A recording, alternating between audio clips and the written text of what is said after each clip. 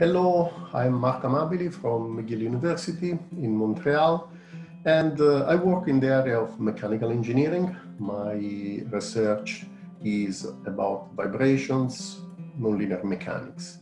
The applications that I like the most is about uh, shell structures. So shells are largely diffuse in nature, like seashells, because they are strong structures with the use of uh, little material. So it's basically an optimization of material made by nature.